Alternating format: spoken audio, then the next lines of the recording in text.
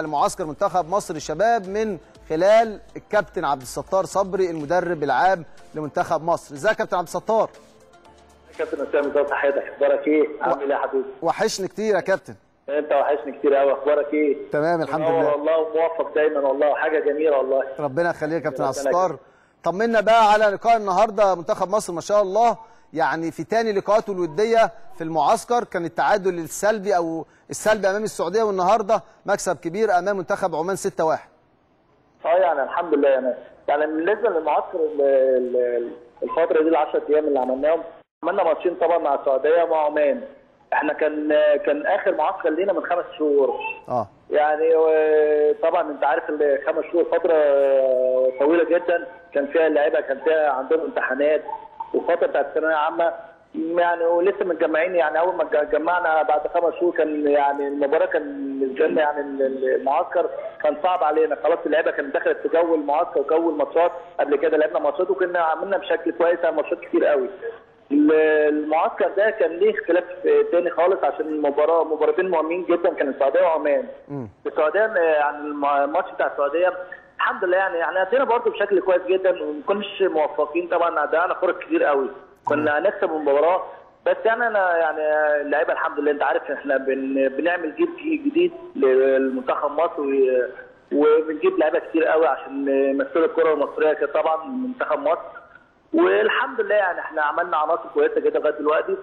وماتش السعودية كان مباراة قوية بالنسبة لنا. استفدنا منها كويس وعملنا احتجاج قوي يعني مباراة مباراة السعودية وعندهم منتخب قوي. والحمد لله. المباراة الثانية خلاص اللعيبة خدت الخبرة وخدت يعني الثقة شوية.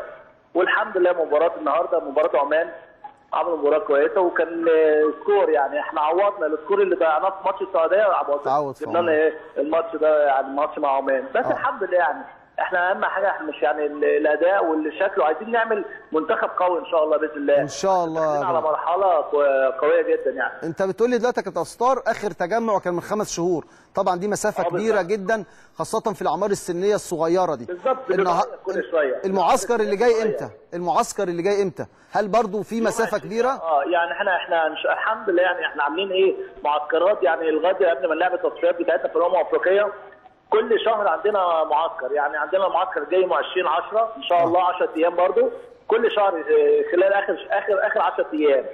يعني عشان كده يعني وبنعمل فيهم ماتشات وديه إن شاء الله بإذن الله عشان يبقى احتكاك قوي قبل ما نخش التصفيات بإذن الله. الكابتن ربيع ياسين كان حريص إنه يقدم شوية دوري 2001 علشان يبقى عنده فرصة إن شاء الله مع نهاية الدوري إنه يجمع اللعيبة يعمل معسكر. محترم يقدر يعمل مباريات دولية ودية علشان ال- الأهم بقى هي التصفيات اللي هتكون إن شاء الله بدايتها في 2020 على ما أعتقد في شهر خمسة.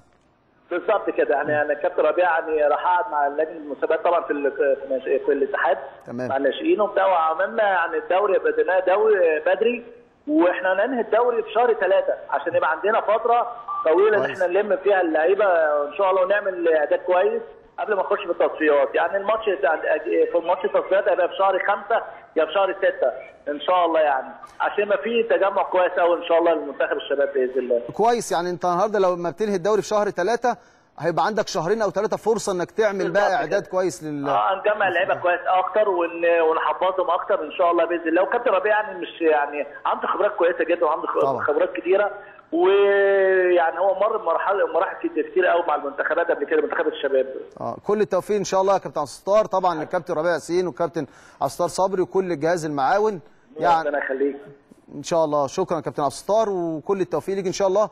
يعني الكابتن ربيع ياسين عمل جيل قبل كده آه لمنتخب مصر كان خد بيه بطولة أفريقيا وصل كأس